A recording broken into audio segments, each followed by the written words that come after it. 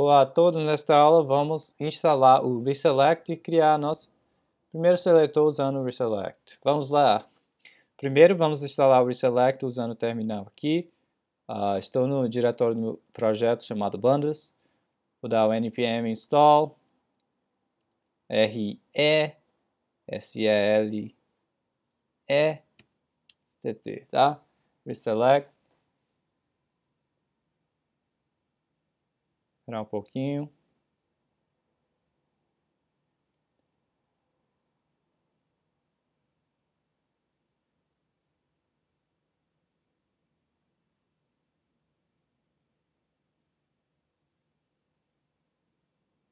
Pronto, instalou o Reselect, versão 4. Olha aqui no package.json, versão 4, tá? Nesse vídeo, estamos usando versão 4. Pronto, instalamos o Reselect, agora vamos lá no nosso arquivo de seletores. Ah, vamos fazer o seguinte, para o banda seletor, por exemplo, tá? nós vamos recriar o banda seletor usando o Reselect. Tá? Como a gente vai fazer isso? Fazer o seguinte, então, antes de partir para isso, no Reselect, a função mais básica que a gente vai aprender é função create selector, tá? Essa função vai funcionar da seguinte maneira. Uh, esse cara vai criar um seletor memoizado, tá? Uh, seletor, seletor memoizado. Uh, acho que esse é o termo em português. Se você tiver outro termo para isso, fale. Tá bom? Uh, create selector, tá? Esse cara é, vai vir do create selector select, vou botar JavaScript aqui. Então, o, a função é create selector, não esqueça das chaves do pacote reselect, você vai chamar assim. Agora os argumentos. Então, os primeiros argumentos, tá? Vão ser seletores, tá? Você tem que passar seletores. E o, último argumento vai ser uh, uma função que vai usar como argumentos cada valor referenciado pelos seletores, tá? Por exemplo, por exemplo, voltando aqui no bando seletor, nós usamos que seletores dentro do bando seletor? Nós usamos o bandas hash seletor e o bandas list seletor. Temos dois seletores que a gente usa dentro desse seletor. Então, nós diríamos, primeiro, tá? Põe o primeiro seletor que você está usando, bandas hash seletor. Depois, qual o segundo seletor? Põe a vírgula, vai ser o bandas lista, seletor, tá? Pronto, terminamos a lista de seletores que serão utilizados dentro desse seletor, tá? Composição de seletores. Tá? Então esse é o seletor para banda seletor. Vamos botar aqui. Ah, const banda seletor, esse cara. Agora, o terceiro argumento, argumento vai ser uma função. Né? vou abrir função de flash aqui. Agora, os argumentos, parâmetros dessa função serão os valores bandas hash e bandas lista, respectivamente. Tá? Bandas hash e o bandas lista. Então, os seletores que forem listados antes da função serão usados como argumento, tá? Os valores que se referem a cada seletor serão usados como argumento em sequência nessa última função aqui. Então, você vai poder usar o bandas hash tá? e o IDs, nesse caso que eu falei, uh, usando essas duas variáveis aqui, bandas hash e bandas list. Tá? E com isso, é só você uh, fazer a operação que quiser. Nesse caso, a gente está mapeando os IDs, lista de IDs, para uh, lista de objetos. Então você pode dizer return bandas lista.map, tá? O ID da banda, banda ID, e você vai retornar o que? Né? Retorna bandas hash usando banda ID, tá?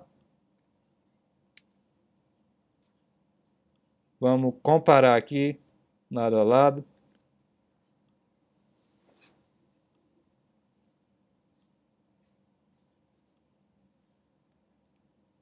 Um com o outro. Do lado esquerdo temos o seletor original sem usar o reselect. Do lado direito temos o seletor usando reselect, tá? Então, você, se tiver, normalmente você usa isso quando já tiver composição de seletores. Se você não tiver, se você já tiver seletor só usando o caminho assim, por exemplo, banda, bandas lista seletor, que tiver statement, banda lista, não sei o que, não precisa nem usar create selector, é só definir dessa maneira aqui. Mas se você tiver um seletor que utiliza outros seletores, né, a composição, você pode criar usando create selector, passa a lista de seletores que serão utilizados e no final passa uma função. Essa função corresponde a os valores correspondentes a cada seletor listado em ordem. Bandas hash seletor vai te dar o bandas hash que vai aparecer na variável bandas hash. Bandas lista seletor vai te dar aquela lista de IDs que aparecer na variável bandas lista. E aqui no corpo você faz a mesma operação que a gente fez anteriormente aqui, tá? Essa lista pode ser, uh, não importa se é 2, 3, 4, pode ser 1, 2, 3, 4 e assim por diante. Mas sempre no final define a função, tá?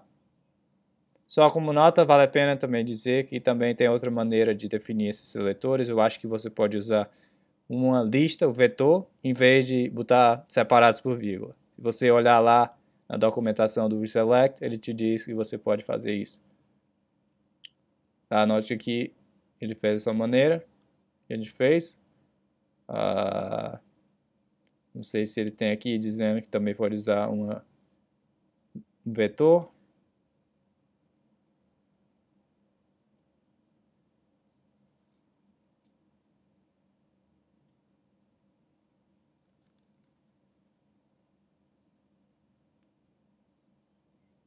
Aqui, ó.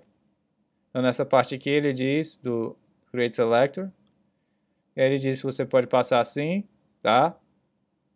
Ou você pode passar um vetor tá? de seletores, tá? A diferença é, esse primeiro é só um argumento, que é a lista de vetores.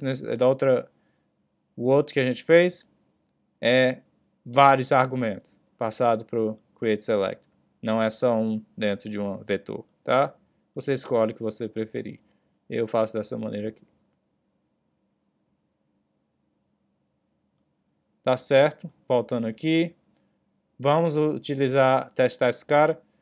Ah, eu vou comentar o seletor banda seletor anteriormente, anterior. Vou pegar esse cara aqui, copiar, vou recortar para cá. Tá? E vou pegar esse import, porque a gente precisa importar lá em cima, lá para cima do arquivo, import, create selector, do reselect, não se esqueça das chaves, voltando aqui eu vou copiar esse console log, eu quero manter dentro do corpo do selector aqui, tá, aqui, salvar, não se esqueça de dar o export, const, Pronto. Corta esse aqui. Salvar. Vamos ver o que deu. Lado esquerdo aqui. Então, se eu salvar aqui, reiniciar o aplicativo, a lista de bandas ainda está lá corretamente perfil, a gente nem lida com perfil, mas lista está ok. O que acontece quando a gente clica, clica aqui? Então ele deu um clique, chamou map state to props, mas não chamou banda seletor. Olha aqui, não chamou esse console log. Clica aqui, deu um clique map state. Deu um clique map state, mas não chamou banda seletor. Por quê? Porque ele está memorizado. Isto é, ele já fez a computação na primeira vez com o, a entrada primeiro. Tem duas entradas aqui, duas bandas hash e bandas list. Note que aquela mudança do estado do Redux que a gente fez emitindo aquela ação, se lembra? Modificar estado, que adicionou essa nova propriedade, não modificou quem? não modificou os dados que são referidos pelo bandas hash e bandas list, que são quem? Bandas hash, esse cara aqui, não modificou, esse não mudou, e o bandas list não mudou também, né? Então nenhum desses caras mudaram. Por causa disso, né, a entrada não mudou. A computação foi feita uma vez anteriormente. O reselect armazenou o resultado daquela computação, que, que nesse caso é o mapeamento desses três objetos dentro de um vetor. E ele só fez uma vez. Na próxima vez, né, ele não executa a computação. Nesse caso, quando eu falo computação, eu falo execução desse corpo aqui, dessa função. Ele não chamou o console log, tá? Isso foi memorizado. Se você imaginar que esse bando seletor, se você generalizar isso, e você pensar num seletor que faz muita computação, não precisa ser dessa maneira aqui, pode ser um cálculo massivo, muito pesado, ele só vai fazer uma vez para a mesma entrada e saída né? Então ele não vai chamar o corpo aqui para calcular de novo, por causa da memorização. Tá? Muito importante isso. Essa motivação, uma das motivações para usar o reselect. Então, aprendemos nessa aula, fazer revisão aqui. Aprendemos a criar o, um seletor usando o reselect. Qual é a função? create selector, que vem do pacote reselect, dá o import com as chaves. Uh, aí passa a lista de seletores como argumento separado por vírgula. E seguido no final, o último argumento é uma função que tem o número de parâmetros correspondente ao número de seletores listados anteriormente. E cada um desses caras, os dados que forem referidos por cada seletor aparecerão como variáveis do parâmetro da função, você pode usar para poder retornar o valor que você quiser desse seletor. Esse seletor é memorizado com um create selector, significa que se você tiver a mesma entrada, né, esse cara, bandas hash e bandas lista for o mesmo, depois da primeira vez que esse seletor for executado, ele não vai executar o corpo do seletor Novamente, ele vai usar o valor que foi computado anteriormente para a mesma entrada. É memorizado. Tá?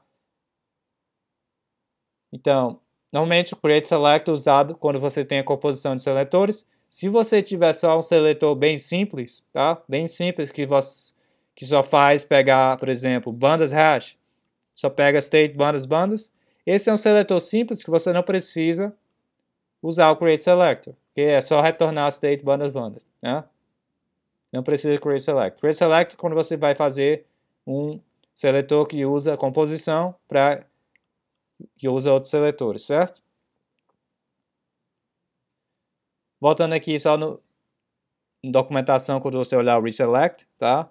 Ele usa as funções, definições de funções uh, de maneira curta, tá? Em retorno implícito. Olha aqui. Ele define seletores assim, mas é a mesma coisa que eu fiz aqui. Eu fiz de maneira explícita, com retorno explícito, tá? Para poder clarificar o que é os caras. Mas eles aqui na documentação, ele usa dessa maneira aqui, tá? O retorno implícito. Mesma coisa, tá?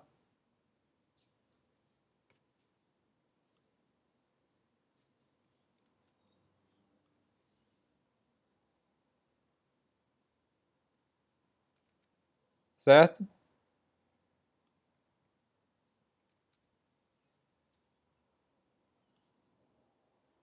Então, por essa aula é só. Uh, espero que tenham gostado. Uh, você pode usar o reselect para fazer, os seus seletores memorizados para não ter que fazer computação dos valores novamente toda vez que o map state to props for chamado. Eu deixo como exercício. Ah, você pode fazer o você pode tornar o bandas favorito seletor um seletor memorizado usando o reselect, tá? Então por essa aula é só e até a próxima.